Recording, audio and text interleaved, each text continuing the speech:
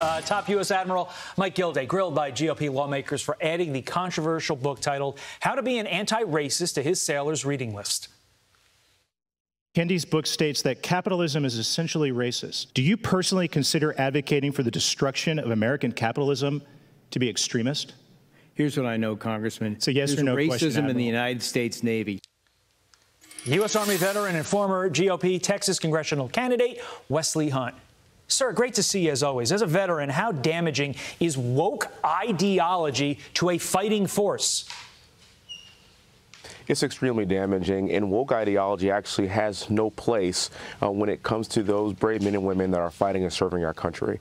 We have got to come together to figure out the best way for us to, to, to get a mission serve our country, and not worry about dividing ourselves across racial lines.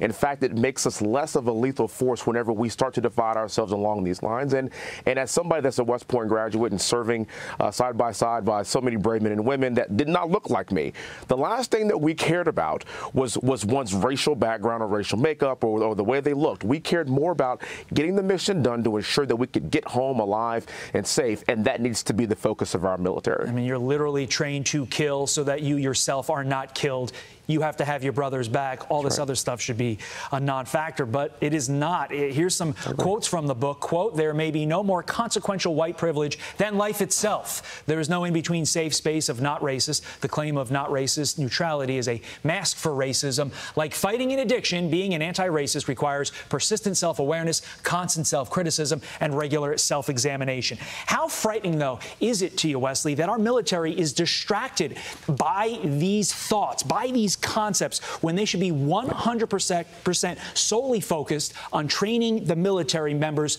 to defend our nation? We are all Americans first, and that needs to be what our focus is in preserving our democracy. We should look no further than what we're going to see here with Juneteenth now being a federal holiday.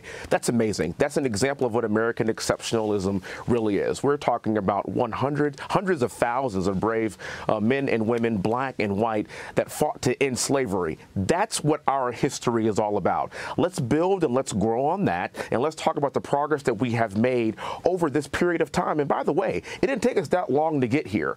And, and, and this is not about, you know, you know, fighting for a specific group or a specific person. This is all about fighting for Americans. That's what our military should be doing. That's what we were created to do, and that needs to be our focus and our mission moving forward, and not dividing ourselves based on race. Juneteenth, now a federal holiday celebrated today this year because yeah. it does fall tomorrow on a Saturday. 30 seconds left to you, sir.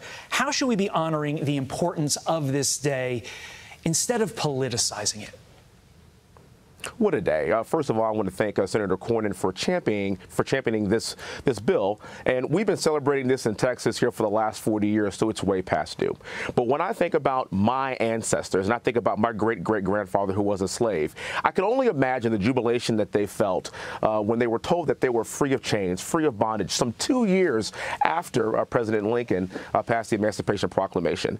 This is a testament of American uh, American exceptionalism and what we need to do to move forward to further this brand of Americanism for the future and for our future posterity. I'm very proud that it is a federal holiday, and uh, I, I really look forward to celebrating it here this weekend. Wow. Powerful words, Wesley Hunt.